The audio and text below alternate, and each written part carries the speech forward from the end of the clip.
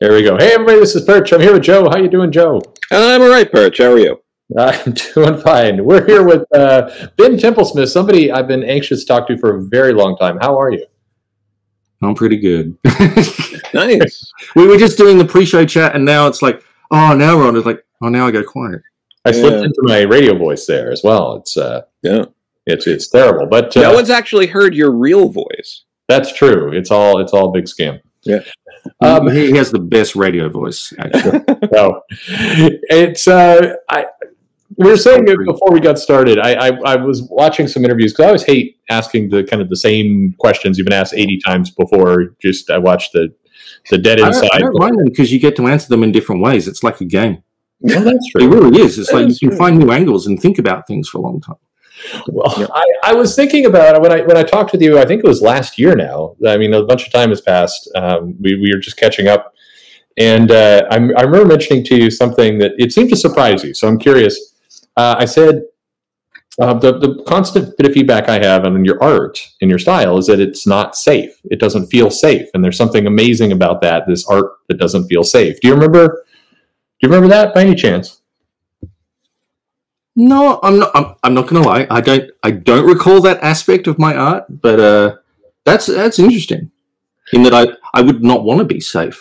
Yeah, I don't know what that really means to most. Yeah. I mean, look, everyone's self perception is different. Art is subjective, but uh, I would say not not being safe actually is an asset because Yeah. there was a time when comics used to be cool, and they were cool because you wouldn't want your parents finding out you were reading them and stuff like that. So you know they had an edge to them, and it's like, well, if I'm not safe, it's like hmm, maybe maybe maybe don't show your parents. Maybe I'm that cool. Yeah. you, you know, this this kind of leads me into a question. Just jumping right into it. Uh, so, so you're a you're a talented guy. Uh, I why- disagree, but thank you. sure, but um, so I try. you, you try. Uh, you know, I, I I enjoy your stuff. I think there's a lot of people that enjoy your stuff. So, like, um, why stay in comics? Oh wow. Well, I mean, I've had some interesting other jobs, but um, Mhm. uh, that come up, you know, Yeah, yeah, yeah. that are impossible to say no to. But I, I never wanted to pursue them, I guess, full time because I like. Well, when you say in comics, Mhm. that encapsulates a whole bunch of things. It's like yeah, yeah. one thing I'm not, and I, more power to them if that's what you want, Mhm. is to be like a lifelong corporate Marvel DC kind of person, or or the other couple of larger ones. But, Sure. uh, Yeah. you know, just as slaves to an editor and and always hustling for that freelance job, contract job for whatever, however long it is. Uh, I chose a different path anyway. After certainly after a while, Mhm. but I've done a bit of everything. I've been an exclusive artist at least once in my life, so There you go. but uh, I like telling stories, and I like. I'm probably stupidly independent and stubborn, so I just like doing things my way. And I like the psych. It's kind of like a psychological, not problem. Well, it's problem solving in that. What can I do that I like? You know, I I do my work for me first. So I, I just do what I think I would want to read either now or as a kid. You know, I just think it's because it's fun. So I'm very selfish that way. Mhm. I'm not thinking too much about everyone else, but then I am because I know that if I keep it in the same wheelhouse of what I've already done, people already like that, then they're hopefully going to like the next thing I do. And I try to sell myself rather than each individual project slightly, but you still have to sell each project. But um, no, I mean, I've been pretty independent and trying to just, um, I have a, I don't know, I feel like a, I'm not trying to do a sales pitch or anything, but like Mhm. Patreon, I have a Patreon. It's Mhm. basically a, fa- a fan club, which I try to treat as a fan club where I give people a lot of things. It's like a mini, I've had a mini Kickstarter since at least 2015 now. So I've printed a whole bunch of books just for them and slightly to the wider community. But it's all, you know, I, I do it mostly like that. And um, I've yet to get back into wholesale, the, the direct market and stuff like that, although I have done projects. But Sure. no, I just like the independence. So I'm one of those kinds. I'm not like, I don't have to deal with the politics or the editors and stuff like that. I'm horrible at networking with editors. Any editor I've ever worked with tends to leave the company shortly after. I don't know if it's me. But uh, it's that's true. It's like Yeah, the, Yeah, but if it was, I mean, that would be a, an interesting. Yeah, that, that would be. Yeah. But um, Yeah. yeah. I mean, I, I, do I- a book for DC, and then oh, great, I've got like s- some people I know at DC. It's like, oh, then they leave. Yeah. Oh, okay. Well, that was a fun job anyway. So thanks, guys. They liked it, but you know, I'm niche Yeah. anyway. I know it. Well, so- storyteller. I, your your Yeah. your art is extremely unique. I, I love your art. I, I mean, I've, I've mentioned that before. I absolutely. Uh, I did, your style is just is is amazing to me, and I, I've enjoyed everything that you've done. But it, but you're a storyteller. For you, you describe yourself, and you you mentioned this in other interviews too. That you're uh, you describe yourself as a storyteller before you start to describe yourself as an artist. And I think that that seems like there's a there's a point there that you're you're Well, in comics, there would be. yeah It should be, Mhm. unless you're just doing Deadpool pinups. But Yeah. Sure. comics is literally sequential art, not just. I mean, making the art pretty is really good, but and I'm not saying I'm a great storyteller by any means, but I like that aspect of it. Laying out a story is probably my favorite part, really, because that's Yeah. the, the actual mechanics of it. Whether I get it right, I don't know, but Sure. bit I enjoy. So Who do you think uh, in the past, or, or maybe some inspirations, not necessarily their art You're topping, asking that question. But yeah, might, might as well. Who who's good at like laying stuff out though? Because there's a big difference between an artist that pops, that's really popular, and an artist that can tell a story.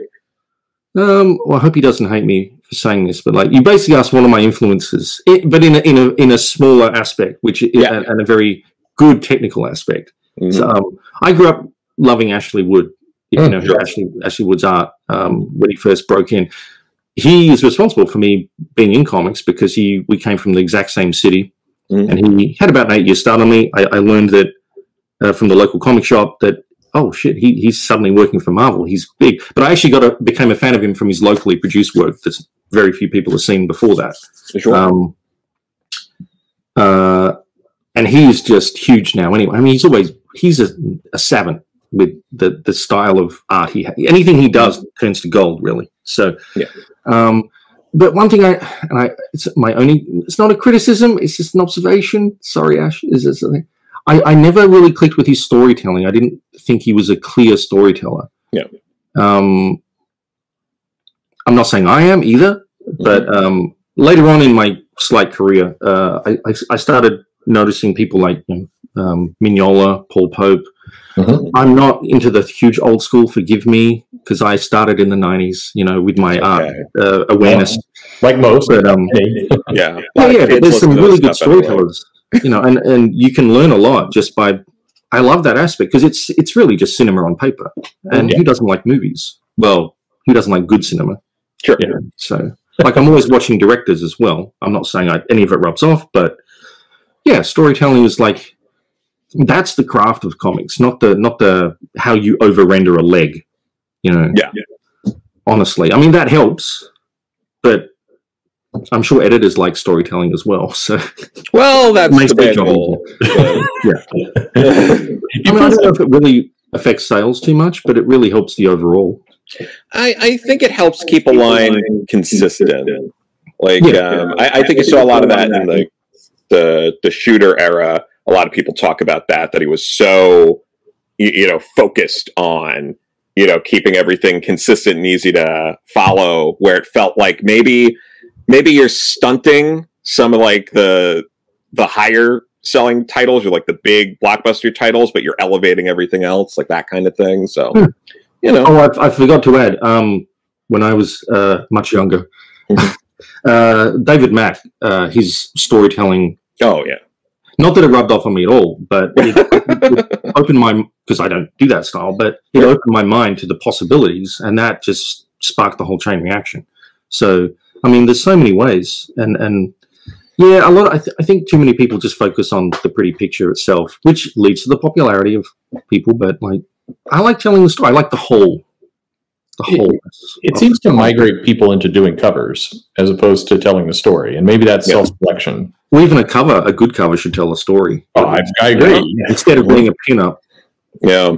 Well, pinups are nice, but you know, Yeah, I, I, I agree. I, um, symbolism. I, I, I've seen a lot of people ask you this. As long as we're getting to the questions you've been asked a million times before. So you start your, you, you is it it? You're, you're, a lot of people believe your career started with Spawn. Is that Do they true? believe that? Well, like, that's That's, that's, nice. Come It kind of did. I mean, it, it really did. It took off from there. But is that true? Is it true that my career started with Spawn? Yeah, I mean, you were doing stuff before then, weren't you? Or, or how is that? How did how did the, the, the let me rephrase the I question. you're right technically, but kind of there's I could slightly. I technically had like one or two things published just before that. Yeah. But if you mean actually published, I had some fan art and Spawn first. So Spawn perfect. sat on the toilet. So So Um, how do you get how do you get from kind of starting your career to starting with Spawn, something that that uh, you know is is certainly a, a notable property, very artistically driven. How how does that how does that begin your career? Um, well, it began my working life in comics, I guess. I don't know if it began my. I guess I would say it began my career because it was big for me anyway. But um, I, I filled in for Ashley Wood because Ashley Wood left the Hellspawn book with four pages left to do. Yeah. It's only four pages. Strange. Fair enough. I got found on a message board by the art director for T- Todd McFarlane Productions at the time. Tried out for a different book, but then just landed on the Hellspawn thing. And like, yeah, that's where I met Steve Niles. Uh, did that for a fair bit until I don't know what was going on at TMP, but eventually, when the writer left, the editor left, I'm like, you know what, I, I probably should go too. It's like because ha- nothing's happened for six months, so I was like, well, okay, I'll, I'll move on to some other things. But while we were waiting, because the lead time on the Spawn stuff was getting longer and longer of getting approval and all sorts of stuff like that, um, Steve and I did uh, that little book called Thirty Days a Night, just because we had some time to kill and like, hey, I'm just happy to do comics, and I'm at the time being paid really well, uh, especially with the exchange rate. People don't realize the exchange rate with Australia was huge at that time. So, so I was I was like, if this is if this is a comics career, yeah, I'll I'll be uh, very set for life very soon. It's like doesn't didn't turn out that way, but but uh, no. So I was so thirty days technically is probably the biggest and certainly the beginning of my true career in that it gave me a, a platform for Mhm. people to hate my work. But um, but yeah, Spawn definitely started it. I would have happily continued doing Spawn. I love love Yeah. Spawn, and Todd was always really good to me too. So he gave me my, my true start. So oh, but um, I'm probably waffling here because I have had a cup of coffee and I'm pretty jazzed right now. But I did do a book for DC first that I did 30 pages of and then never saw the light of day because it was shit canned because uh, I was paid. It was fine. I had a kill fee because that was when Heidi MacDonald uh, left or was asked to leave, whatever, Yeah. from DC. So all of her stuff that wasn't already published got like nixed. So I, I broke in technically twice. I was doing a little book with, not a little book, a book with Joe Casey. And Oh, then yeah, that never saw the light of day. But then Spawn happened around the same time. So I was, and I was pretty prolific. So I was going to be doing two books at once, and it turned out just to be one. So I That's a- broke in twice, but then 30 days. Yeah, that's interesting too. With, with uh, with to career. Yeah. Yeah, no, I was gonna say I was just interested with Heidi because uh, she was asked to leave right after um, that. Uh, Y the Last Man wa- wasn't uh, catching the world on fire or whatever, and I, oh, look, uh, I guess that ended up don't not being the case. I think I vaguely remember something about that. But like like I said, as soon as I work with an editor, Yep. they're no longer with the company. So, so I'm a kiss of death. There you go. Uh, There's a bunch of editors I think people listening right now would love you to work with. I'm always open. Yeah. I'm open to my. I, I I'm juggling. I juggle projects anyway. Uh, Yeah. When I'm, I have my productive phases and my less than productive phases, but I'm always juggling. I always do more than one thing at a time. So I'm doing like four things right now, slowly. Yeah, But um, yeah, and and um, you know, I'm you were happy talking, yeah, you're talking about you know you, you, you like your independence and all that uh, were there any times where you were working with like an editor where they just came up with something that just sounded insane to you and made no sense for the story No, I mean editorial would be okay. Um, I'm trying to rack my brain here because this is like mostly stuff from years ago for me now. yeah yeah Yeah. So two thing, two things I will say. Mhm. Uh, Heidi MacDonald actually was she was my first editorial experience at all, and she Mhm. actually kind of helped teach me a fair, you know, just a, the fine tuning of storytelling and a few things like that. It's like Yeah. That was really good, and that was my first experience of any of that because I was coming from a place in Australia. We didn't have any conventions at the time. They were like a brand new thing coming up. So yeah I was this little boy in a bubble, and I was getting. Not only was I getting work, but I was being taught things by someone who had experience, which was huge. That was great. That was great. So she was my first editor experience. Mhm. The only other real editor, ex- I'm people are pretty hands off with me, and they don't have too many critiques. Um, Nice. with Scott Allie. Oh, Scott Allie was my, when I did after 30 days, I did um, uh, a mini series called Cal McDonald, uh, Mhm. some Criminal Macabre. That's what it was. Yep. Yeah. And I can't remember what he wanted a, a bunch of little tweaks all the time, which were no problem. I can do them, especially when it, I was an early adopter of the computer with doing some computery stuff. So that was Yeah. pretty easy, but it was annoying. Mhm, Sure. But I definitely got the feeling he was much more hands on that way. But he never really, I mean, I'm not the writer, so thankfully I don't have to deal with any of that because I wouldn't want to.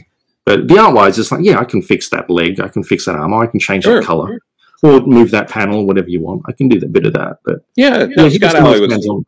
he was known for being pretty hands on. So Yeah, I got that feeling. So, Yeah. but um, uh, yeah. I don't know where he is now, what he's doing, but uh, mm.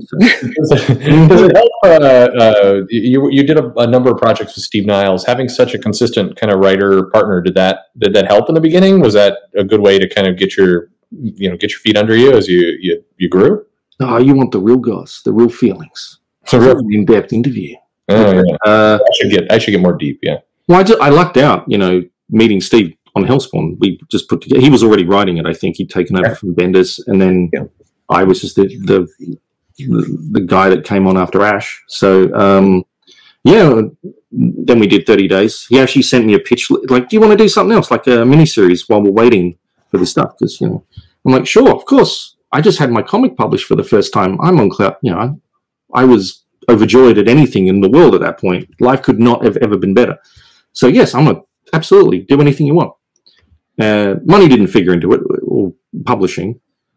Um, so I said, yeah, yeah, I'll work on something else for you. This is cool. You're a real comics writer. So gave me a pitch list, chose 30 days. I'm probably repeating myself. Um, and he pitched it around because he had contacts. I had no one. I was just a little kid on on dial up in Australia. Mhm. Uh, it was the it was early 2000s. Um, uh, yeah, I mean, we clicked. He liked my work. I liked working with him. It was pretty easy.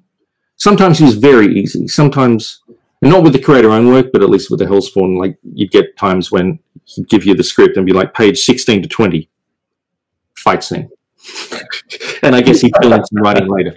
But like, yeah, yeah, it's just like, that's a very easy script to work on. So, Sure. um, uh, we stuck we stuck together for a while, um, which I was happy to do, but not because um, I was I didn't know anyone or anything at that point in time, and I was still trying to figure out what I wanted to do.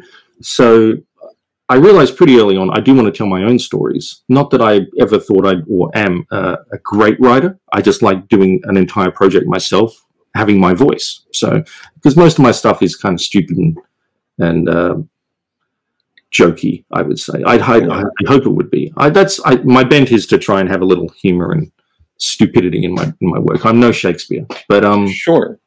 I did realize after a while, it's like it would be smart to either work with other people at some point or delineate myself as a creator, as opposed to just being an adjunct to Steve. No, this is Steve, but um, it gets a bit. I realized after a while that when people were only going through Steve to talk to me, that maybe I needed to stand on my own two feet a little bit more Sure. That's- because there's yeah. opportunities there anyway. So, so it's like you've got to, you know, it's like Dave McKean and uh, Neil Gaiman. It's like at some point they were always a team to me, and then obviously they have their own voices too. So it's like I love Dave and I love Neil. So, you know what I mean? So, yeah. No, absolutely. I forget what the question was. I just went on a rant. No, not that, a ramble. That's good. yeah, no, it's good. And uh, you know, uh, speaking of things like you know, Thirty Days of Night, it's uh, going back a little while now. Uh, there's a whole like new generation of uh, readers out there. Uh, considering the fact that there's not a lot of uh, stupid, quippy jokes and people sitting around eating in, in these comics, do you think it There- would resonate are with today's audience? There's a lot of people sitting around eating. Actually, it's, There's a lot of people sitting around eating, but it's not Yeah. that kind of. It's not the know. kind of eating you want at a No. like fancy dinner party. It's No, not- we're, we're talking about like having actual recipes in the books, things like that. You know, th- things that would resonate with today's readers. Well, 30, Alright. here's, the, here's the thing that differentiates that from that, which I know is a thing that some people talk about. Yeah. 30 Days a Night, okay, initially was a three issue miniseries. It was a it was a story. What I thought was a one and done story, which went on to some sequels because hey, success breeds sequels. sure. But um, the first one is definitely its own story. Mhm. it had a story to tell. What you're talking about, forgive me if I'm wrong, mostly from what I know, is kind of the more monthly, cyclical, cyclical, whatever the word, um, yeah, corporate-oriented yeah. properties that are that they have to con- constantly come up with, try to come up with vaguely interesting things, whether you like it or not. Mhm. No one's going to give a shit if people in the 30 days, well, they're going to give a shit. They're going, why are you having these characters eating and drinking, like going to a birthday party for each other in this comic? It's got nothing to do with the overall comic for 30 days. But if I've got a 50 year old character that I have to put a thing out every month, it's like, I can understand that. I still wouldn't find it interesting myself. Yeah. Uh, probably to draw, especially. Sure. Give me Steve, but- Steve You- Dillon used to be able to write like a damn good diner scene if, if you had to give it to him. you know, they, they can have a real point and a real Yeah. purpose if it's in a story. I mean, diner, diner scenes in movies, you know, interview Sure, yeah. sorts of things, they, they can work. But when you're having to constantly reinvent, uh, uh, I'm not going to call them tired, but very old properties and constantly keep them, you know, adding new things. And like, I understand kids. I'm an, I'm, I don't know how old you guys are, but I'm, yes, I'm not young anymore. I'm, Mm-hmm, Yes. I'm, but I'm, I'm not the youngest generation, but I'm not, I'm the middle generation. I'm not like the old, well, I'll never be a, I'll never be one of the higher up old, old, uh, giants of the industry, but, um, yeah, yeah. but yeah, it's definitely storytelling and not storytelling, I guess, but the, the content itself is, is changing a bit. I don't know if people really like that or they, if they want that or if it's just the way things are morphing with culture. I don't know. I make no claim, but I probably won't have birthday parties for my characters. terribly. Well, if you could go back, would you, you know, go do it over again or, or relaunch some of that stuff? How would you incorporate social media into it? Would everyone be looking at their phone, God. tweeting? I put I put phones in my stuff a little bit, Yeah, yeah, yeah. but um, you got to try and mostly ignore that in, in a, mm-hmm. to a degree. With, Yeah. with all co- with all media now, most stories are spoiled by social media and cell phones. Yeah. it's like if you if you're kidnapped or something. Well, I mean, okay, you have to have characters somehow lose their phone for a Sure. story to ever make sense for anything to. Otherwise, they'll be found easily. Or like I don't know, it's like everything gets complicated because everyone's so well connected now. Nothing can happen easily unless you take away the technology. Yeah. make the story interesting. So, That's a good. That's a good future sequel to Thirty Days a Night, where the you know problems seem to be coming, but the the residents are very easy, easily able to connect. well, I, I, I do have a sequel in Yeah. mind. It's called 30, 30 Days of Night Bad Reception. Yeah. Oh, There you okay. go. Yeah. Satellite goes down, but they I mean, they could get some solar lamps from Amazon delivered, and then it just solves the whole problem, and it's a very Or, or what if birthday party. they could be tricking kids into getting together, like at those like Pokemon gyms while they're Oh playing yeah, Pokemon Go, and then they're all together, and then they just murder them Yeah. all. this is a Yeah. this is a killer idea. Yeah, absolutely. It, it is a killer. Yeah. It's it is it's just crazy to me. Like social media is so corporate now and so Mhm.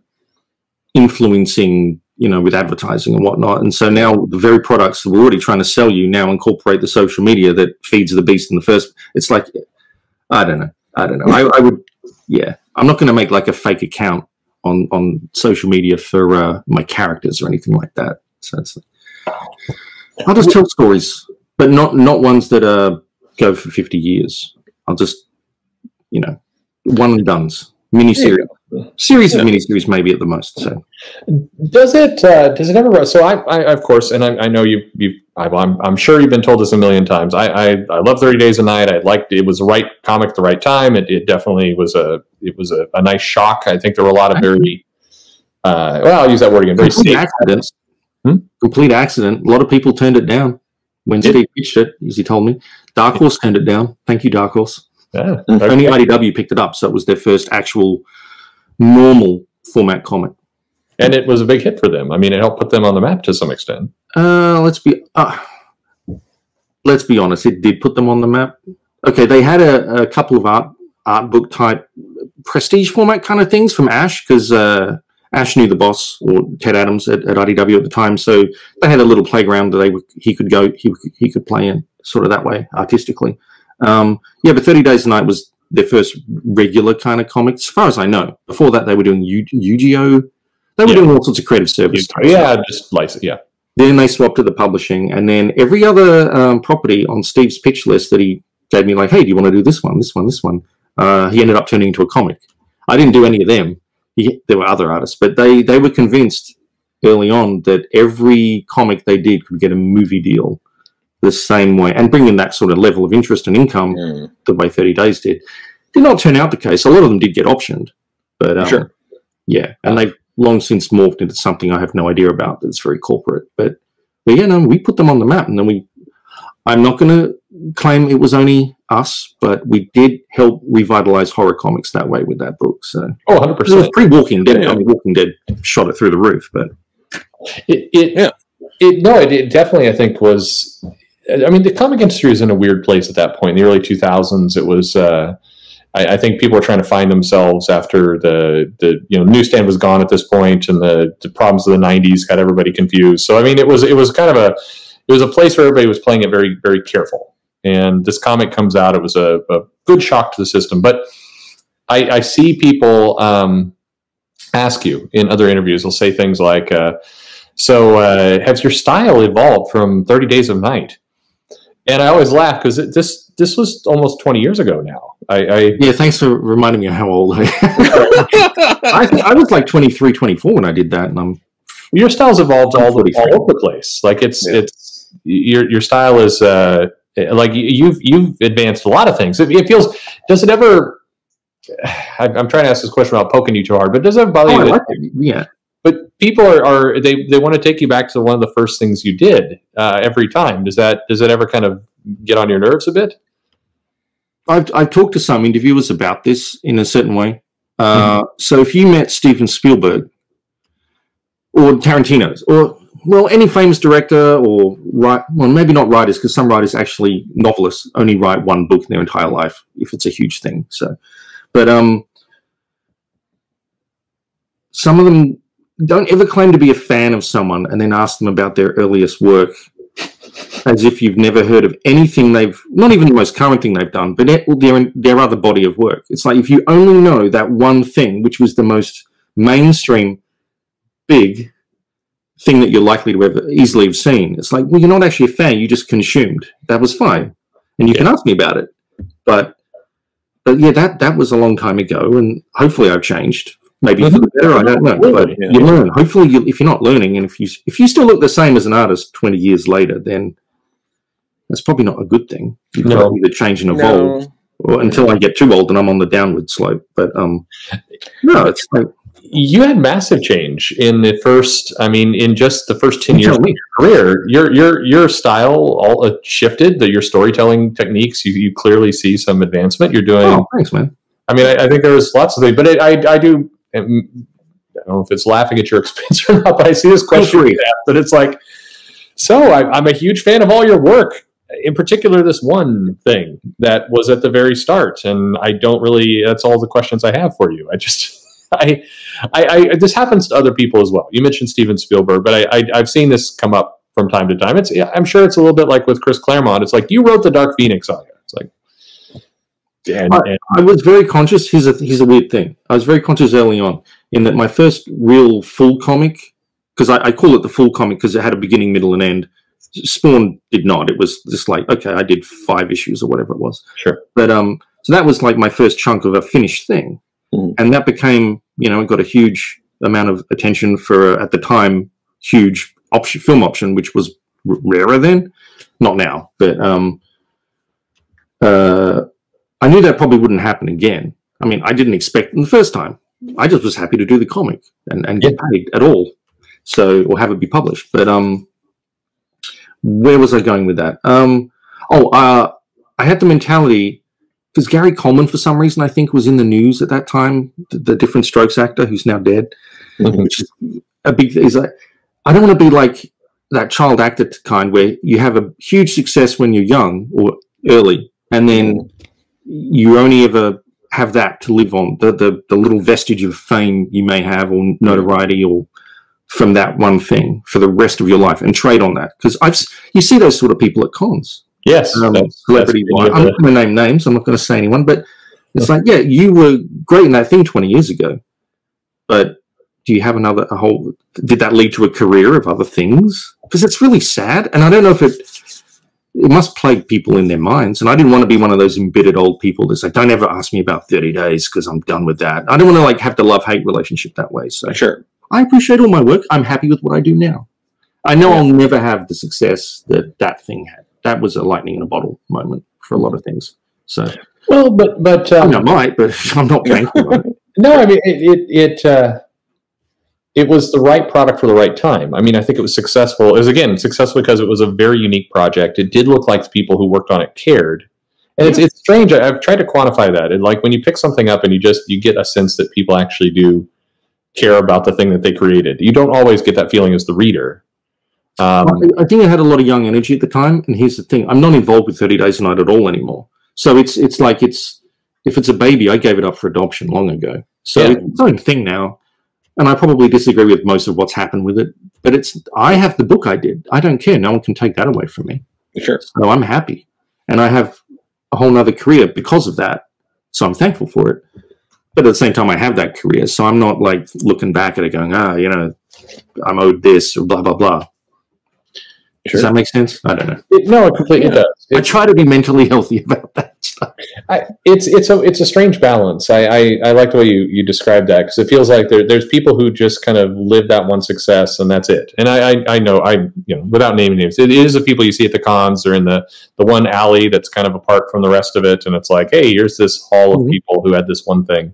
Mhm. Um, It, it matters in comics in, in general in regards to a lot of people come up and get really big for a minute and then suddenly they're yesterday's news. I mean, comics is relatively ageist that way, or it's big about the new Yeah. hot name, and then then they're kind of gone the next day. So Yeah. I'm very thankful that I'm never a big name, but I am me, and I make that work, and I've had a career. So I hope to be more like us. I'm not going to say anything quality wise because he's way more better than me, but like someone like Sam Kieth is like Sure. drop a book and it's Sam Kieth, and he'll have fans. He'll have an audience for that no matter what because it's Sam Kieth. He's cultivated a thing, you know. Mhm. I don't want to be like that. Versus like the new flash hot writer that wrote for a couple of years on some company stuff and then disappeared because no one. I don't know internal workings of companies and editors. I don't deal with Sure. editors, so I don't know how they do or don't get work anymore. I don't understand that. I don't ever want to have that. So- Uh, those those people also don't know how uh, they get work and continued work, and it's been fun the past few years seeing some of these people realize that uh, in real time on no, I, social I, media. I know. I've, I've seen a little of it on social media and stuff. It's like that. That's a tough thing to, to. It would send some people. It would break people. I think. I don't know. Especially if you have an ego about you, in the sense of you believe your own shit. oh, yeah. I, I did for a brief moment. I, you know, when you're meeting movie stars and having a fucking, uh, forgive my swearing, you know, a, a, a premiere of, of the movie based on your book, and you're seeing a billboard with with a with art on it that is it wasn't literally my art, which would have blown my mind, but it. Sure. I can understand, all right. If you're a celebrity of any kind or have any, you're riding high in a career that way, and you see a building that literally has painted on it a picture of you. I mean, Mhm. a picture of a thing you did is one thing, but literally the picture of you, if it's Mhm. like trying to sell you as an actual celebrity, Mhm. like Stan Lee or someone even in comics, sure. that would send you over the edge into insanity potentially, egomania wise. It's like, Oh, oh, yeah. come down from that later on to be treated like yesterday's news would be, yeah. So I've always tried to be mindful of that in that I'm, Mhm. I'd rather be a self depreciative person first. It's an Australian thing too. You don't, if you believe in your own success, if you think you're great, you're kind of considered an asshole in Australia. Sure. So like, Think your shit don't Yeah. stink. so like, if you got like an eight-page Care Bears backup in a comic, you wouldn't be tweeting about it and going crazy about how it's the greatest thing. Is uh, legions Oh, I tweet about it because I want to let people know, but I wouldn't Yeah, that's And I would Yeah. agree to do that because I'm assuming they'd want me to have them have, you know, severe diarrhea or something like that. yes, I would Yeah. fuck that shit up, put it that way. I That would would love to see. I would Absolutely. love Pick the wrong see project. an eight-page story. That is the best idea we've had all day. yeah, no, that that yeah, I let's make it happen. joke that If you're I- listening, IDW. I would always joke that I, you need to do a My Little Pony Aliens crossover comic. Mhm. And then they kind of eventually did, so I couldn't do that joke anymore. And like, and I, but I did just think that one was kind of sad. Yeah. I'm not a huge fan of crossovers like that. So Yeah. No, I, I uh, okay, yeah, I, I have this this great desire to see you do a Care Bears story now. Um, I'll just do my own kind of Care Bear thing. There you go. Hey, They'll all be complete assholes. I don't know. sure. the, uh, you got attached to, to horror. I mean, because of Thirty Days of Night, uh, being this, Yeah. this guy who could really create these these horror worlds. But you've done noir. You've done a lot of. You've done sci-fi. I mean, is there a? This again sounds like a very corporate question, but is there is there a? You can ask a little. I don't know. A lot of people listening to this may not ter- be terribly aware of my work or what I Yeah. am, so it's okay. Yeah, there you go. But Plus, this is a more full interview conversation, which is much different to the things at cons where they just have five generic questions and they want a quick line. You know, so it's Yeah, like it's a wonder wonderful thing to get to explain actual in depth, slightly things. Yeah. No, I just I just like atmospheric stuff. I draw the way I draw now. It's like it's relatively set. I can't suddenly do anime, although I'd like to try because uh, or the manga style because that that would be easier um, and popular. Um, I just like dark things, dark science fiction, and uh, darker things in life. Anyway, they always make for interesting stories. Yeah. I I'm Australian, so I apologize. I never really got into Superman. Like I'm not into the whole really bright, candy colored truth and justice sort of like yeah the best of us. It's like I'm more into. I was always more you know the Punisher, the hell the uh, uh, Ghost Rider, and you know stuff like the darker stuff Sure. it still has lessons in it, moral lessons and whatnot. But like, yeah. And Captain then- America, I'm well, I'm Australian, so I never was. Why isn't there a captain, or at least a lieutenant Australia? That was when I was a kid. That's done. Yeah. I like And this is fine. I like them fine, but Yeah, I'm this is culturally 'cause- slightly different. You're on the other side of the equator, so that's probably why it's reversed. I'm on the you. correct side. Well, I'm not now. Now I was on the correct side of the Yeah. equator. Yes. You know that they're up and down in space. There's no north and south. Australia's actually probably on top. It's Yeah. true. yeah, take Mhm. that. It's just America. planes, man. Planes. the the atmospheres you you mentioned the uh, the the art. I mean, one of the things that that I enjoy uh, in reading your work, um, and this came out in Choker, a couple other of the titles, is you. I mean, the characters are fine, but you do create. It looks like you're putting a lot of work into the full page. Uh, the, the the backgrounds and the the. I, the that's- that's you, like- you were pos- I, I love you. I appreciate you. I think you're the first person who said I put a lot of work into my backgrounds. Thank you for that. oh, you're at least fooling I me. try there. not to, Yes. but I do. Yes. No, you, you create a mood with your page. I mean, it it it, it reads like it, it's immersive. It's it reads like something that's going to draw you in. And I think it's Oh, it's not Thank you. just the main character; it's the whole thing. That, Uh, that obviously, I was going to try and do that. That's the job. Um, The job is to have you flow through the story and feel it. If you can feel it, even better than just looking at it and understanding it. If you feel it, but um, a background, yes, I'm pretty crap at backgrounds. Let's be honest. But I, I like fancy lighting and some computery things and shadows. And if you can get away with shadowing everything, then you don't have to draw anything. But Yeah. um, you could spend all day drawing a cityscape in the background for one panel, and the reader is only going to glance at that and then move on. Mm. So you want them to have the idea it's there, and then just move on with hopefully what's a good story. What is a good story? So But it's it's not just a nudge. I mean, if it's uh, if your scene is is cold, if there's snow and or you're in the middle of a blizzard, it feels cold. It it I, I, again this, this sounds very strange and like it's uh it's maybe no, it doesn't. It's exactly what I try to go to, man. Yeah. It's um, putting the atmosphere and the feeling in. To me. Yeah. I mean, that's honestly, I guess, if anything, I'm an artist. I try to feel what I'm doing rather than be a draftsman about it, sort of thing, and just being very technical. I, I I'm probably very sloppy in the technical aspect of that. So I'm much more. I want you to feel this if I can help it. And I lucked out in learning Photoshop early on before it was a thing. This is long before tablets and stuff. So yeah, I learned how to use it a bit and figured out a few things and yeah, made it work and it looked okay on the printed page. No, I definitely want to ask you about digital and kind of that that world, but but it is to press point one more step. It's it's that uh, I, I know artists that will spend a day rendering a very detailed scene of Brooklyn, and it looks very accurate. If you were to print that Yeah. page out put on the wall, it's like oh, it's a good architectural drawing. Um, but to your point, the reader tends to gloss over that stuff. I mean, they they they're they're busy with the action, whereas what you're doing is creating the mood of that setting, so you can feel that setting I'm and trying. seems, to be more powerful and stick with people better. Well, I mean that's subjective. I appreciate you. Sure, sure. But, um. Yeah. Here's, here's the other thing. You, the other you you would know. There's other factors involved in why artists draw what they draw sometimes. one of them at least used to be before everything was computer. Is an artist will be thinking maybe I can sell this page. So if right. I make it a, and that's why a lot of artists like pinups. It's like, well, if I make this a fancy, nice thing, you know, then I'll get some more money on the back end from something else. So um, no, I never think about that. I, I just I do have original work, so I'm like inking a page right now, but it's only small. It's just process work to me.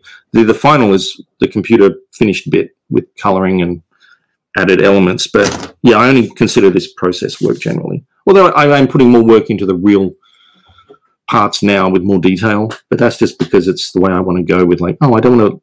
It used to annoy me when people would say my style was sketchy. Mm. But when you know when you spend eight hours on a page and they still call it sketch, it's like, well, I, I guess that's because I some of the lines don't connect and and there's some splatter in there. Like it's, it's a visual vocabulary that not everyone has. They use words to describe things, but like, I like being sketchy. Then, if it wasn't actually sketchy, I might be slightly annoyed because yeah. eight hours later it's more than a sketch. But um, I don't know. It's like yeah. Um, so you're you're uh, you're you're working digitally then. I mean, oh, about twenty percent digitally, I'd say. About twenty percent. Eighty percent real real world. I still draw by hand, so. Yeah. So tell me about that. Just, just so you're you're you're, you're drawing it out, but you're sketching. you're drawing it out by hand. I sketch uh, it first, yes. Yes, and then your, I mean, because part of your your work that's so powerful is the coloring and the aspect of of kind of how that whole page comes together. What's what's that process look like? Uh, a lot of Red Bull. Um, okay. Uh, when I when I'm doing it for myself, I just uh, I draw layouts of the whole book first, so I know the storytelling aspect of it, and I already have like a bit of the script or the dialogue written down. I always do it with dialogue first. I learned that from Warren Ellis. Very I nice. like knowing what someone's saying, so you can put um, expressions into them rather than do it after the fact, like the Stan Lee method, which which doesn't really. I mean, would you do that with a movie? Would you have the actors like yeah, one strange movie having expressions without knowing what they're actually in, going to actually say in the end? It doesn't really yeah, so I like having the Marvel universe. Yeah, because when you're the artist, you're you're actually you're the art director, you're the costume designer, you're the actor, you're everything. So I I like. I'm not saying I'm good again, but I like expressions. I like knowing how to make them work from the panel to panel, especially with timing and a certain in certain scenes can work really well that way. If you already know what you know the characters are saying, to let them breathe or skip or whatever. Um, forget what the overall question was, but um, yeah, how did I do it? so lots of Red Bull. Uh, you're you're you're drawing, and then you're getting into the machine. You you talk about layouts, and then I just um, I work on letter size paper, which uh-huh. um, oh, that's interesting. good for speed, hmm. but I also add a lot of detail at that level, so I get away with it. I hope. I think. Um, I, I, learned like Charlie Adlard on The Walking Dead actually works really small as well. So yes. it's like it's a pure efficiency thing. The only reason you should be working large, like 11 by 17, yes, makes nice art for a wall, maybe yes. to sell, is because you know you don't have to put too much detail in, but you are drawing bigger, but then it shrinks down and gets nice and tight. But so I, am my stuff is still shrunk a little, but not that much. Yeah. So, but it, uh, it lets me finish things a little quicker, mm-hmm. especially considering I then ink and paint it all myself as well, it, physically before I then scan it. Oh, it's all usually grayscale, and I scan it in the computer, and then I bit of dodge and burn colors. Um, I don't really like use filters too much, but I like mm-hmm. lighting. But the thing is, when you know what you can do on the computer after you scan the artwork in, that affects how you approach the original art in the first place. So you know you can play your strengths and stuff. So, so, so if people ask me, oh, can you, like, they'll come to me at a con and say, like, oh, yeah, because they see commission prices and whatnot. It's like, oh, I don't want a fully finished thing. Can you just do a pencil thing or just an ink thing? It's like, well, actually, I'm kind of lost slightly in that, and that might actually be more work mm. because I'm working to make that a finished product as opposed to doing what I do, knowing that I'll finish it off in paint where I can add certain things and effects that way.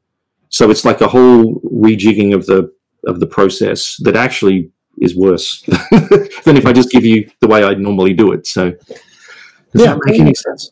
Yeah, no, it makes complete sense. I, I uh, and now here's here's the nerdy question. Uh, so if, if you're early on on Photoshop, how have you liked their move to uh, Creative Cloud and and uh, and having oh, the software done that way? You saw my tweets. No, no, I actually haven't. I, I'm curious. Oh, okay. Yeah. Uh, I had two versions of Photoshop in my life. I had like I forget what the first one was. Obviously, very early. I actually knew a guy that used to work uh, at Photoshop. He gave me free copies. Like Yeah. they wanted feedback. Like they literally he his job was to like find out what um what creative people thought about it. It was almost like a comic artist, a working artist, matted Yeah. to Adobe. It was, it was amazing. Um, If you have those early versions of the software and you go to the special thanks to, you'll you'll find me in there actually. I'll do that now. Believe it or not. Um, that's cool, actually. Yeah. But um, so I, I, I was using the same version of Photoshop for a decade, at least a Yep. decade, um, and I never upgraded my my computer. After a while, out of fear that it would stop working. But then Yes. my computer died on me late last year, Mhm. and I got a new computer. It was backed up, time machine, all of that. So I had everything back, except it wanted to reauthorize. And you're a tech person. I have no idea about this shit, but it's Mac Yep. but um, I couldn't get anything reauthorized of my old faithful programs that worked like a charm, that had everything I needed to do in it. And I don't need new bells and whistles. So I was forced to sign up for the new Adobe Photoshop, and it's uh, there's a lot of needless crap I don't use. I'm sure some people use it. That's nice, but it also crashes a lot and has glitches and things on basic things that I used to easily do. It's Yep. insane. And now I I pay fifty bucks a month for this. Uh, I'm looking to transition to something, a couple other programs. Uh, I forget what one's called. Affinity. yeah, might that's be. fine. I'm going to look at trying to use those in the future. But it's a long, long task to try and swap completely over when you definitely got to still produce work at a, at a Yeah. rate. So Yeah, people Yeah. uh, people hate Adobe uh, over the past uh, few years. It's been ve- they've been very vocal uh, about uh, not liking it, and Adobe's done very little in terms of remedying any of that ill will. Well, it's the, it's the it's the dark side of capitalism. Is Yeah. why do we have to sell you a one time solution when we could sell you a Sure. you know, why why could why should we give you a cure when we can give you a patch job? You know, a constant updated patch job. Oh yeah, this will not work for the gets into the whole COVID situation, maybe. But um, It's uh, this is amazing. So I, it's, this is going to be an amazing segue because it all fits. But uh, um, no, I I, I- I suspected because I've I've got a machine over here that is still using. I, I'm, it's got to be a version of Photoshop from ten years ago, and I won't. I, I'm just desperately hoping that machine holds on. I do not want. I, I don't want to upgrade, but on all the other machines, I've got Creative Cloud. It's a pain. yeah, because you Um, know, like they've turned off all the the whatever they call them, the authorization servers or something that will ping back to with your serial. You just can't do it anymore. It's Yeah. like, excuse me, I paid for that, and I would happily pay nine hundred dollars for a working copy of Yeah. even a new one. Just keep it like that. I don't want to be subscribing. I don't want to. Uh, one of the new features, they're they're a mess. Um, but no, it's it's so it's a new reality for a lot of artists, unfortunately. So It is, uh, but you hit upon it. It is this uh, this desire to hit a business model where you're renting it, where it's a subscription, Yeah. rather than just paying it. So, which comics is going through now? I mean, well, with the online, with the digital, yeah, we're, we're in that. I mean, it, we're in the same place where the companies, you know, the, one reason why digital hasn't quite, you know, caught on here is there's still a lot of collectors in other places. But if you look in other regions, I mean, Japan is rapidly moving to this, you know, and it's a good deal uh, to be a subscriber to to Jump, but you are still renting it monthly. I mean, it's you know, it's it's a way to get the money regardless. And, they, they will still. I mean, you tell me. Um, Yeah. They will still produce physical versions or collections, maybe, right? they will, Yeah. yeah, for, Because for a while. I mean, you kind of wonder though. I think people will always want artifacts of some Yeah. kind. If they if they really love something, if they get and with storytelling with media like this, entertainment media, people Yeah. fall in love with things. Ideally, if it's Yes. good, and that's why they get very attached to things. So they will want a, a physical hard copy because books will never die. They'll, they might become rarer and less trendy, but there'll always be people that want a physical. There's there's It's true. the one thing that I, I I'm trying to espouse to a lot of people now It's like, especially with everything online, it's all about the experience. We're not actually. I'm an artist, yes. I, I make comics, yes, but I'm not actually selling that. I'm selling, if I'm any good, and that's debatable. I'm selling an experience, and hopefully a unique experience that only I can give. Yes. So I do that on like my Patreon. So like, yes, they see digitally every page. They see the whole process. Again, I'm not trying to sell people to going there, but uh, Yeah. Templesmith on Patreon. Um, Which is a subscription service. yeah, yeah. But the people at the right tier, I print the comic for them and I give them a special sign and number, numbered edition. Uh, with this again sounds like selling, but I give them like prints and a sticker as well in a wax sealed envelope with with uh, custom stamps on it and stuff like that. And I sign everything. And it's like I want to have an experience with them, a relationship with them in that way that can't be replicated if you just went and bought a comic in a store, let alone just saw it online. So does that does that make sense? Like that's the, Yeah. the, the where the money is, I would say, in the future.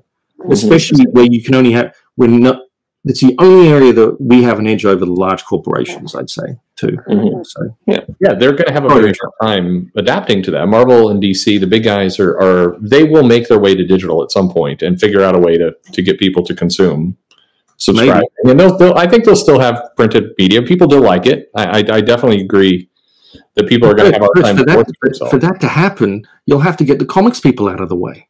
If you actually Yeah. want to make it popular, you'll actually have to get some actual business people. Yeah, well, that's, that is true. Isn't isn't most of digital comics on Comixology? Yes. So it's just the direct market all over again. Yeah. It, it is. There's Let's all channel it through one thing, one distribution channel. And in this case, that thing is Amazon. So Yeah, which is Amazon. Yeah, yeah. yeah. but but there is that um what was it uh we, we you covered it earlier this uh week or what was it uh, last week with uh, Kakao Yeah. uh purchasing tapas because the the other area that's really burgeoning now is um line webtoon tapas Yeah. and there's some other companies that are um y- you know it, setting themselves up to just devour uh western comics uh I, I mean that sale it was what half a billion dollars they paid for Yeah. for tapas it's crazy like it shows that the people want to put the money into these uh, free or subscription based web comics that are designed for cell phones Well, aren't most of them free? I know a lot of tapases. I mean, I guess they have some premium stuff too. But I did some work with with Line Tunes. I still Yeah. like Yeah. A lot of it. but I don't like their format too much. But yeah it's it's free but there's, you're starting to see more and more um, it's free but if you want to be up to date with everyone else you have to pay or you're going to have to wait x amount of weeks to Yeah. read it for free or I do too. Yeah. or it's uh you know it's free for six chapters and then after that you got to pay like a quarter or whatever it is for every chapter after they they, they, The they drug dealer does that, man. Yeah. Yeah. Exactly. It's the heroin business all over again. Exactly. I, but but but, you, but, you, but here's one thing, and I know you probably covered it in the video anyway. But, um, their market, their re- their audience base is is huge compared to the Western world. Ideally, I mean, I don't know how many people you think regularly read Western comics. When I say okay, I'll say Anglo comics. Anglo meaning English language, uh, like to differentiate it from the French, because French Yes. uh, that's its own thing, to It's me. a whole different beast. Yeah. and they're very French about it. So, Yes. But we, I think we're we're tiny compared to that overall market base. So Yeah. I, it, it would be if I could find a way to keep living in that ecosystem. If they popularized sequential storytelling Mhm. in the Western world, the way they already have it in Japan and places like you know in uh, uh, Korea, I guess it is. Yeah. Uh, yeah, that's only a good thing for everyone, regardless of your art style and your thing. But the thing they do is they offer different genres, and they're not hooked up to just. I mean, maybe some of them are, but pushing fifty-year-old corporate property. Mhm. Correct me if I'm wrong. Like There's very little uh, that that's that old, but it is. Um, they they never get so dependent on that one thing that's what I mean. Yeah, yeah. that it drives everything else. Yeah. They're actually just stories. Yeah. They may be really long stories, but and I, I you could tell me if the creators of those original stories, maybe not historically, but at least the more modern ones, if they're if they actually share ownership in them, or if it's still a, if it's the company owns everything. I don't know. No, there's there's usually shared ownership. There's Okay, there's, so there's impetus there, and the, there's investment there, as opposed to Marvel or DC necessarily. Where yes, you can make a nice thing, and you might get a little bit, but you know who really owns it. well, yeah. I- It's a whole different dynamic, is what I'm saying, and I don't mind it necessarily. I think it could be a good thing, but I would still be scared. culturally, I think there's also a. I, I I've heard this from a number of the creators there that they, and I think it fits something that I've seen you say as well. Is they do think about the end at the beginning. There is this, yeah. this you know, they, they're everybody who's going into this, including the, the manga has been running for a long time, and Oda and some of these others, they they know their end, and That's they helpful. see that as really important. yeah, because it, makes it like an actual story, not just. Yes. A, I mean, comic. You know, comics used to just be. They, were just a monthly thing, periodical. Mm-hmm. Like keep it going to sell to push the ads. Right. Like, it was all about ad revenue, wasn't it? So it's like the whole dynamic is changing anyway. Yes. Man, we, yeah, I like telling stories for yeah with an ending. Even if it's a bad ending, at least it should come to an end. So I think it's, it's much tougher to not do it that way. So it's one of the areas that when I, that I always hear that people. Um, one of the misunderstandings between the two cultures is it will be the uh, well, yeah, but if the story was popular, if it, if it, you know, if the characters really take off and you make a lot of money, then you'd want to keep it going. And uh, the, the, the creators in, in Japan tend to have more of an attitude of, no, I'll create a new story because I've proven yeah. I'm popular and I can create stories. So I would create a new mm-hmm. story. I don't understand yeah. this keep it going thing. So, yeah. I mean, yeah, it's just it's a. There's so many differences that are potentially advantageous and different, but I don't know. It's a that's a whole thing, man. You, you talk to a lot of people about that, I'm sure. But well, yeah. I, I do. It's it's not. It's actually fascinating to me. So your Patreon and this product yeah. that you give people. So you are. But I mean, this is where I think you've you've stumbled or not stumbled across, but you you you're doing something smart. You you there's a digital product. People are subscribing to it, but it's the experience. It's you're you're providing somebody a physical good and the digital good and the experience of you and these extra things you're adding. I mean, there is there's a that to me feels like the the, the future here for for at least the West of. Well, you know, it should be in a, in a way, but it's sad as well because. I know that what made me able to do that was still the larger system in the first place that made me known to a bunch of people. You still need a larger sphere to promote to something to, to get a reputation enough. It's like yeah. I don't know if if I just came on just doing it now, I'd have that sort of growth. And I mean, that it would take years to get to that. And luckily, I have put years into it anyway. But yeah, I don't know. The dynamics of come, coming up now would be the same as when I did it initially. I don't know. Mm-hmm. I mean, Patreon, which is just a fan club to me, it's I, that's the way I treat it. Is um, it works best when you already have an established audience. Yeah, I know that. Right. But yeah. I mean, like you, like with you, with your channel, it's like consistency matters. If you keep doing it, and I've I've made like five projects and physical books through it now, with a few more to come. But um, yeah, that matters, and that, so that builds and builds, and then people come back, and that's I don't know. Yeah, you know how that works. No, absolutely. I've seen Gaining so trust. so many uh, artist Patreons who, uh, and they set it up where they're consistent for a couple months. And then they start slipping, slipping, slipping. They shed support and they close it down. It happens all the time. Yeah. Uh, or, they do it, or they they close it. I mean, they shutter it for at least a while, maybe yeah. when they've got a, another project going on. And it's mm-hmm. like, no, no, no, I'll keep doing stuff. The the trick with uh, I'm just going to call it a fan club of any kind. You can do it through mailing list. I don't know. Sure, so, sure. All sorts. Of, all, you can have your own membership website these days. You can do all sorts of things. It's if you were going to do the project anyway, then nothing can hurt you. I mean, obviously, you need to have some income anyway if if it's for free at that point. But if you were going to do it anyway, the consistency is already there because you were going to do it, and you just you so you have all this stuff to show anyway. So I don't do it thinking, oh, I'll only do this if I get hundred people backing me, or I'll. Mm-hmm. It's like no, I'm committed to this anyway. I'm doing it because I have plans, ideally, for other revenue streams for the thing I ultimately finish.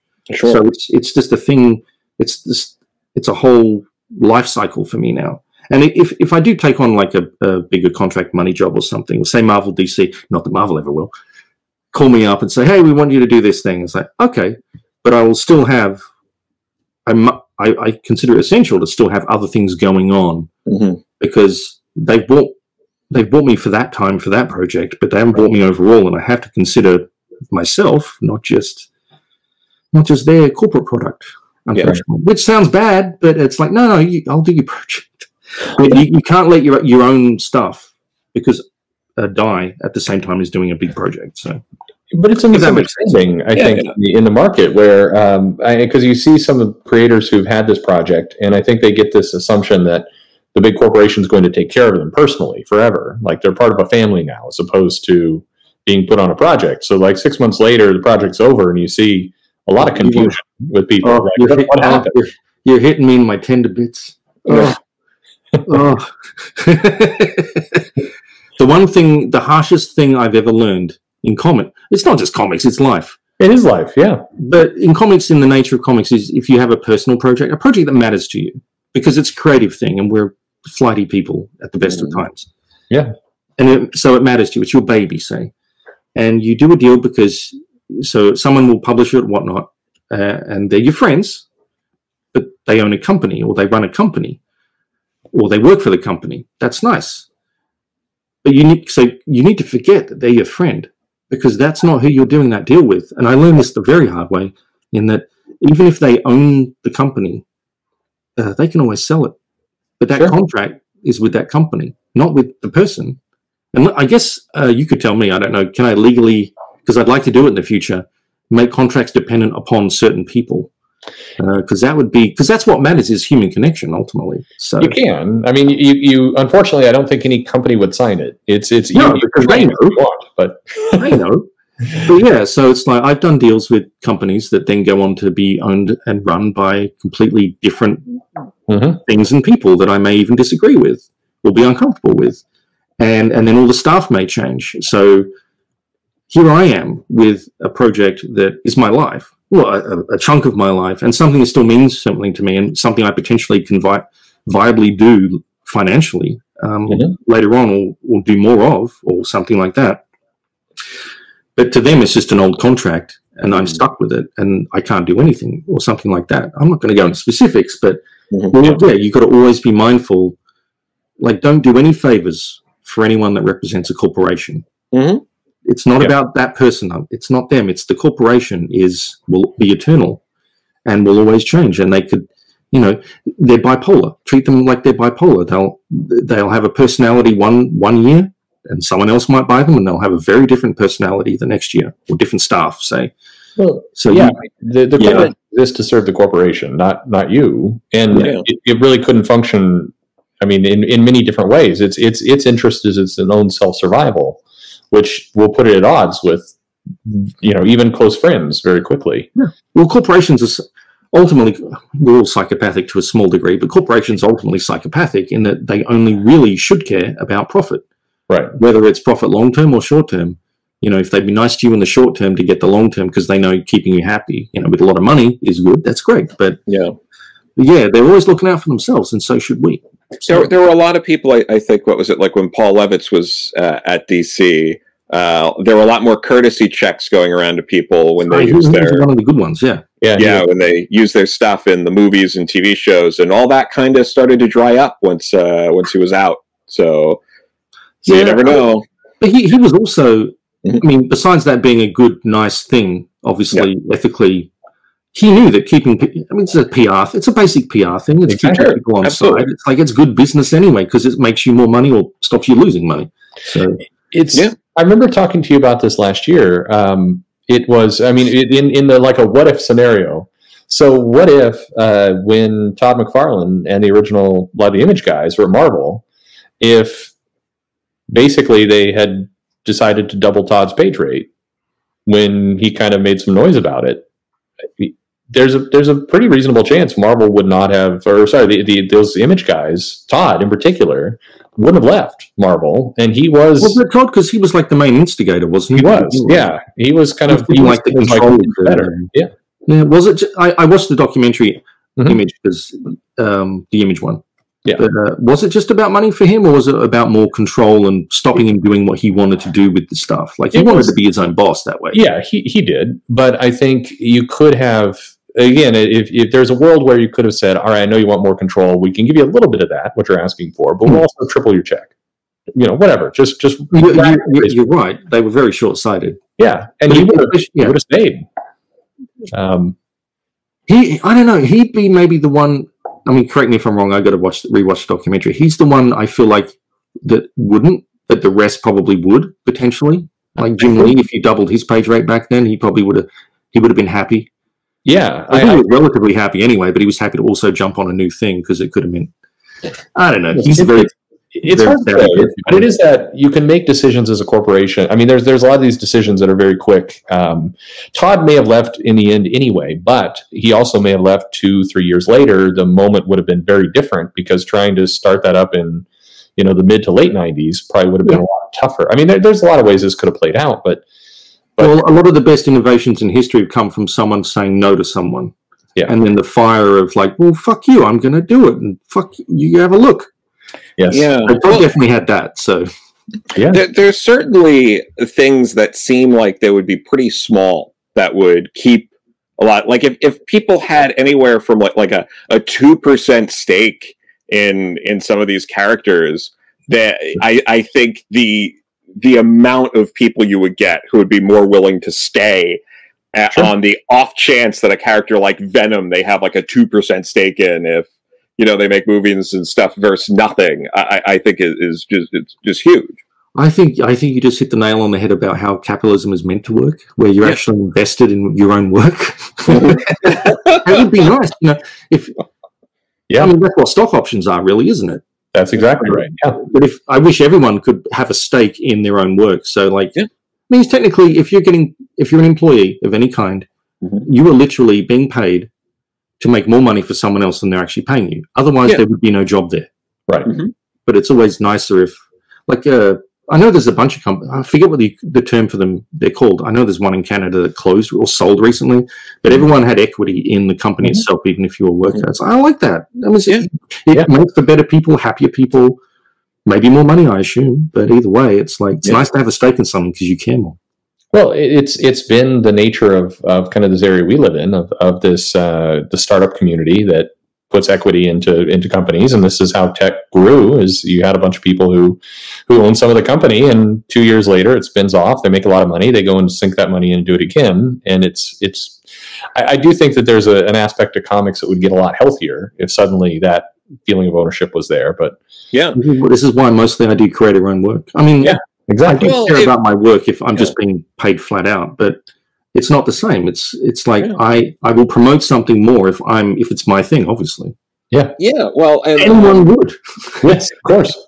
Yeah, I mean, one I thing do. you know, people complain about recycling old events in in like the mainstream big two comics, but on the other hand of that, it's like why should these people give them new ideas that they're just going to make into movies and maybe they'll get a, a cameo in a movie uh, and, and, that's the best case scenario instead of saving that work for uh, something they do creator owned yeah i mean there's a reason why when not to go back to hollywood stuff but like when people get big enough or talented enough shall we say and haven't acknowledged that they're a hot property you know actor wise or whoever they, they get to ask for percentages on how the movie does and stuff.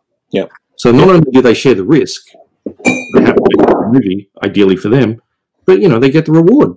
And but that's how you have to buy people now. Uh, if you want loyalty of some kind and passion. So yeah, you get it. Yeah, you, you need to make the, the, motivations line up. It's an interesting, absolutely, uh, it, kind of a silly question to you. If if if um, let's see. I here. I'll set up this crazy scenario. Let's say Marvel or DC does come to you and says, "Come on in." Marvel never will, man. I think I pissed them off a long time ago. well, I don't know any editors anyway. So you can kill off any of our characters. Who who who are you? What product are you taking? Where you're gonna kill them off? You're gonna end some character. Who, who would you want to oh, go? You just want more content for another. You want some angry responses, don't you? No, no, no. you, won't, you won't get me into. Wait. So what is the the the question is? You, you, you come in, you got a free slate to do whatever you want with those those books, but you're going to come in, you're going to do it your way. You're going to make. I have a free make, slate. Yeah, clean clean slate. Why don't I have to kill anyone? Well, okay, you don't have to kill them. Let's say, okay, we'll, we'll take that off the table. You tell me. I mean, you're just going to come in and do something completely. You, you know, you, you don't need to worry about any consequences to anything you're doing. What what do you what do you do? Well, the problem, I mean, first off, killing anyone doesn't matter anymore because in comics they come back. That's really that's absurdity to my question. Yes, that's yeah, yeah, yeah. So, what? Just I get a on one book or a, or a range of the. You pick. You pick. You can. I don't know. I just I just want to do one book. Yeah. Uh, I said no. Someone actually wanted to have a. Uh, this is going to sound horribly egotistical, but at one point, someone wanted to have a suggested a Ben Templesmith presents sort of line of comics at one point. Mm-hmm. I'm like, no, please no. I'm not. No, I'm one. I'm not that good that way, and e- ego wise, that would be no. That But, be uh, incredible, but okay. I don't. No, it was it was a producer kind of guy, so it was Oh, it was like no, no, it's not my style. I'm not a Hollywood no, and I'm not Stan Lee. So uh, it, was a moment in time sort of Okay. thing. Um, well, so you're just saying what book do I want to do, really, aren't you? Yeah, yeah, but I mean, I mean, but I guess where I have editorial control, where you have editorial control. Not, now you're going to, you're, you're not like a dream project with some character, but where you're like, I could do a really unique thing there. I'm not saying uh, I'd be any good at it necessarily, but I would like to have fun with and, and do it myself and like do a new version, maybe. Uh, Ghost Rider, I Mm-hmm. Okay. guess. Ghost Rider, because there's been a lot of attempts at him and changes with him, and I'm like, I'm not really a fan of most of them. I Mhm. like, I grew up with Mark Texeira with the, the that that that version, Yeah, which I like, but he can still be updated. Oh, and Ashley Wood on Ghost Rider 2099, so for sure. which I kind of liked, you know, with its cyberpunky kind of way. But um, no, that, I mean, you're asking me to reinvent a corporate property for for a corporation. yes, But it's very much in cut? conflict to everything we just were talking about. What's my? I get five percent for five percent. I'll make it my. I'll make a make it the way I would do it. Yeah. Yeah, very, Yeah. very. They they should let Aunt May die already.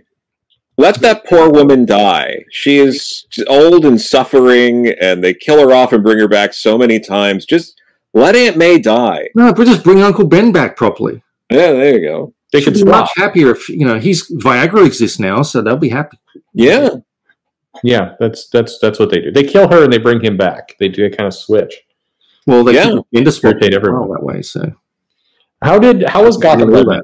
You you worked on that. How how was that experience? of which one? Sorry. Gotham by Midnight. Oh, that was cool. Yeah, that all happened because of uh, Ray Fawkes. Uh, Yes. I'm, I'm assuming he brought my name up and got me on the book. So that was my only uh, DC number one, but I've done one. That was good. Yeah. there Um, you go. it was weird though because I guess the thing with publishers is I had a contract for I think it was four or five issues. So I said we would like you to do this, this. and um, they obviously in their marketing and promotion they don't tell the world that Right. so I did my job. Um, I didn't know if I, anything more would happen, but I knew they had another guy coming on after that. You know, I don't know how these things normally work, but I just had my contract, did that, and had plans for after that of what I was going to do anyway. But then the world just thought like, oh, you were taken off the book. Why did you leave? And I was like, I, I, I just did my job. I, I, wasn't kicked off. I, I didn't I didn't decide to leave. I just did what I was told to do and asked to do, and that was Yeah. it. It's a contract. It's like, I guess unless you're, I mean, I don't know how much you could probably tell me more about the inner workings of lifetime corporate um, comic people. Like, Well, Puzzle. I mean, I'm sure Murphy, know, Sean knows about this stuff. I mean, he has a whole line though. It's he's got a much bigger deal. But like, yeah, I'll just come in, do my the issues I was asked to do, and then leave. Yeah, the, both the money. big two are are pretty infamous for doing things that the public would be fine with or at least understand but saying like oh you can't tell anybody anything that's happening. Yeah. it happens all the time. I know a lot of stuff that's going on now where you know a lot of frustrated people who are like i wish i could tell someone that this is a mini series and not an ongoing. I wish i could tell someone that you know Yeah, this they're, if they're of being brutally honest with themselves and if they they're guessing their numbers and stuff like that. But I think the other thing is in the the, the main the main outlook that Mhm. creative people forget or need to remind themselves a lot more of to do with publishers, and we're talking about the corporate. Well, they're all Yeah. corporate, they're all corporations, but should we say the legacy large ones? Mhm. Should we say names un, unnamed? Um, it's their their IP is what is the moneymaker. They're not concerned with the creative teams. They are in a sense of sales, ideally, but they don't give a shit if they change the artist every now and again. Or they in fact want that because it's the character they want people to get hooked on, obviously for, for their business reasons. But also they don't want I think not that there's a conspiracy about it, but they don't want a new image coming up. They don't want consistent creative teams on books for long, long terms that build familiarity and build their own fan base that way. It's much. I think it's much harder to do that now. yeah I mean, writers have more success at that than, than artists because we're getting shoved around a lot. I don't think it's all deadlines. Mhm. But uh, No. then you get someone like Sean Gordon Murphy, who's got his own universe of this thing now. So like he's done it in a good way that's building for the future. But he's still doing it within the, the corporate structure, which is yeah, it's nice. very unique Yeah. though. I mean, there's just not a lot of the of that out there, unfortunately. it's it's just all very weird because they're all shooting themselves in, in the foot mostly because they're not doing that. They're well, it's hard to find a book that an artist is on it for more than three or four consecutive issues. Yeah. Uh, that they're not rotating things, and then you you look and either the old classics are outselling in the aftermarket in the trades, or you have things like Three Jokers and stuff like that that are recent, but it's the same artist and writer on the book, and I it's like movies, man.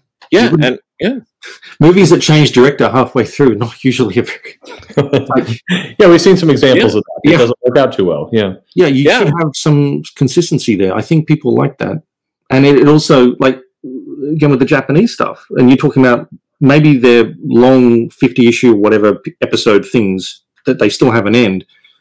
You tell me, are they usually the same creative team? Oh, I mean, even if they're a, a Oh. group of them, because I know they work Yeah. that way sometimes. Yeah. It's, like it's consistent.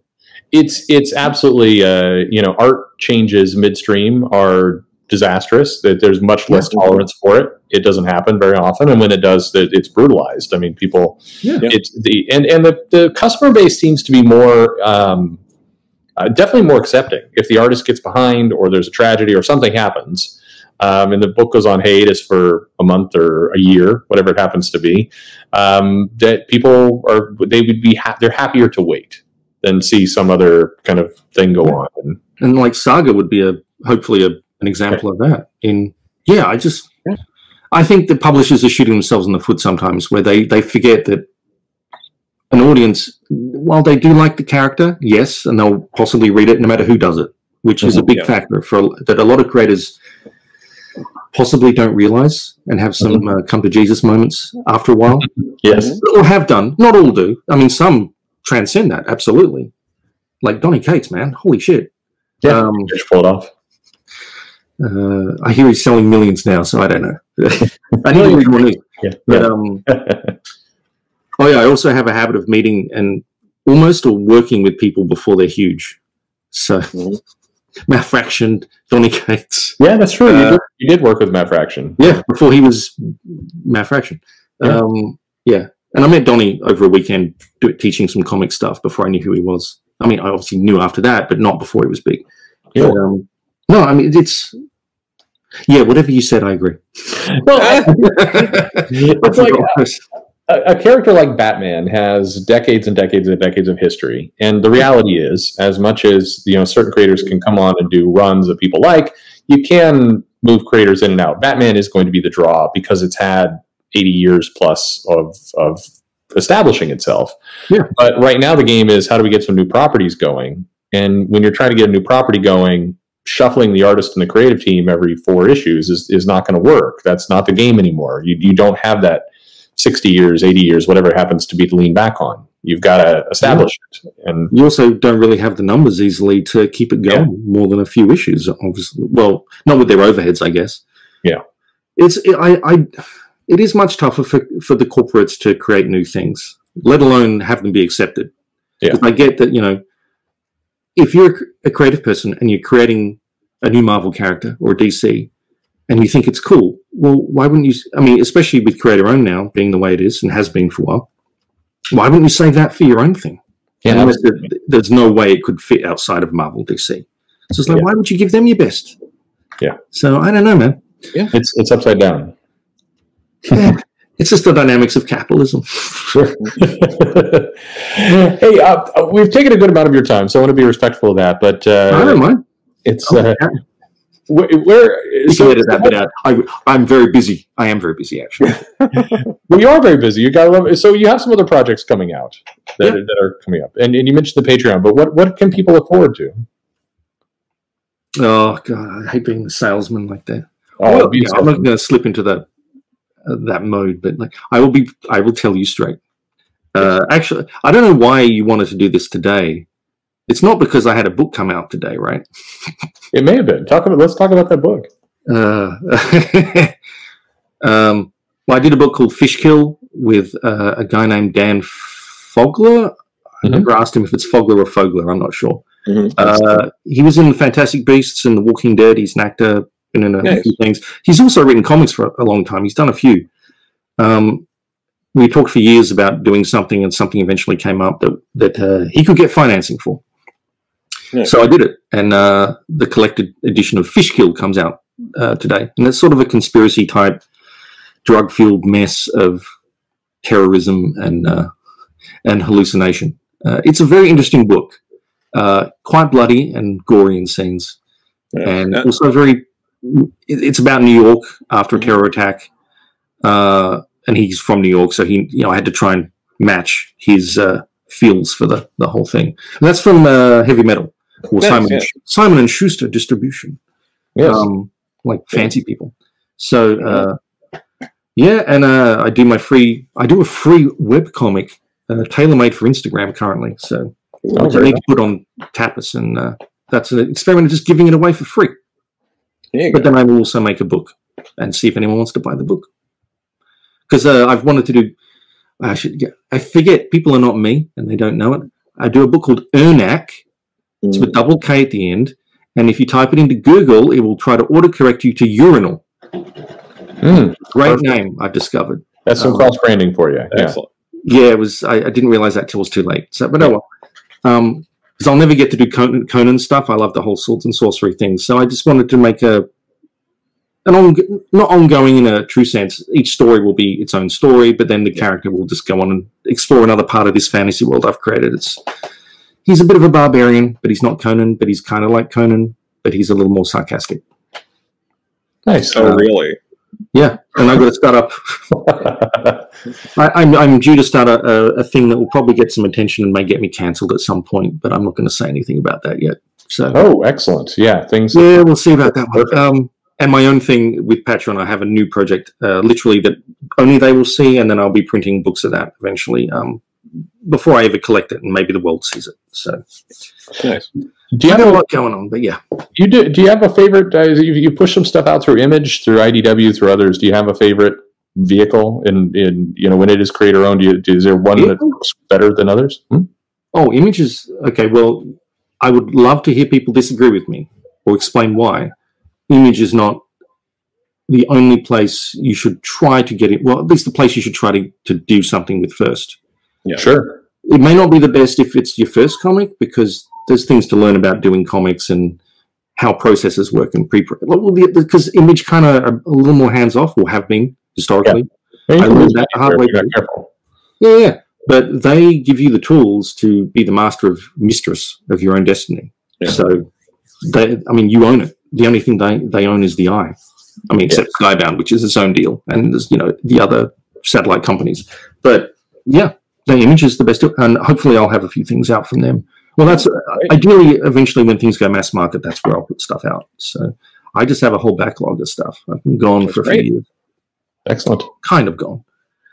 But yeah, I'm around. I'm around. And Are you looking? Uh, are you looking forward to getting back to cons, or how, how is that? How's it Uh, been? yeah, I am actually. Okay. Because not all cons are the same. Not all cons are uh, equal, but um, assuming they're anything like they used to be, uh, Yes. it, it's a good way to connect and also turn some people into fans. So I mean, it happens. It's it's a part of that whole experience thing.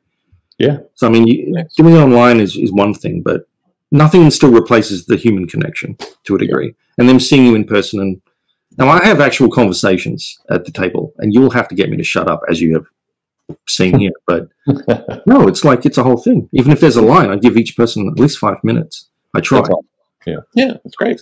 So we Yeah, have I love it. we we maybe have Emerald City Comic Con here in at the end of the year. Do you think you might uh, you might go to that one? Even if I'm not living here, I will definitely try to be at that show. Yeah, excellent. If, yeah, that is. It's one of my favorite shows. Okay. a bit for the maybe for the worst, but that's uh, not to do with that's to do with the city as a whole. But but uh, and and I, well, they they put everyone up on the top floor. Yeah. In the artist alley. So and but there's not as much sign. That's a not much signage for it, but that's another little not annoying thing. It's a great show. So yes, I will be there. It's fun. Okay. C two E two and New York as well, probably. Awesome. Ideally. Well, I, I look forward to catching up with you there. We'll have to if you're if you're mm-hmm. yeah if you do Well, before that, maybe yeah. maybe if things are healthy, who knows? Well, yeah, we'll see. The world's a mess. But um, no, okay. So we'll have to get some scotch with uh, with you and, and Sean and a couple of other people coming to Seattle and I'll do that. get away together. That'd be a good time. Yeah, uh, Well, I've only I've only briefly chatted to Sean. I like Sean. I like his style. He's. I bought two pages of his early Hellblazer work many years ago. nice. Yeah, and they'd be worth a bit by now. I think Mhm. I can't find them. I don't know where they are.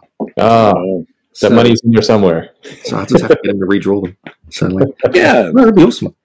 Just I, I always get very little girly and shy when when people I admire actually say, "Oh, I'm even aware of your work, let alone like it." It's like no, no. So, Yes. Well, I, I think the in I don't know what one of the interviews with Sean, he talked about how much he liked your work. So now it's it's crossed over Yeah. yeah, I just popped into the the chat thing and like, oh shit, that's nice. Yeah. yeah. No, I love his work. So Well, very good. Well, I, I hope we can see you soon, and definitely we'll pick up the stuff. And if people who are listening to this, you should go and check out the Patreon and, and subscribe over there and, and give Yeah. your money in for sure. And give it give it a look. Give it a look. Two bucks gets you everything that I do. Kind of uh, all the bits and bobs and things. So like, you don't have to invest much just to check it out. And there's a whole back cat back back catalog. of PDF of every of the finished products of everything I've done, if nothing else. So nice. uh, yeah, I'm building up a whole backlog there. So I love it. No, that's Awesome. it's, it's the way. so to speak. So yeah. Well, Well, thanks, well, thanks for having me, guys. It was a lot. Yeah, of fun. thanks. Thanks for great. talking with us. We really appreciate it. And uh, like I said, I hope to run into you soon, and we'll we'll keep following you and yeah, keep doing what you're doing. It's My awesome. speech impediment was okay. Uh, you were Yeah, it was fine. I think most Ah, people sorry. understand it. I didn't sound too thick. all right. Well, thank you very much. We'll talk Hey, to you. you're soon. welcome. Thank you. Yeah.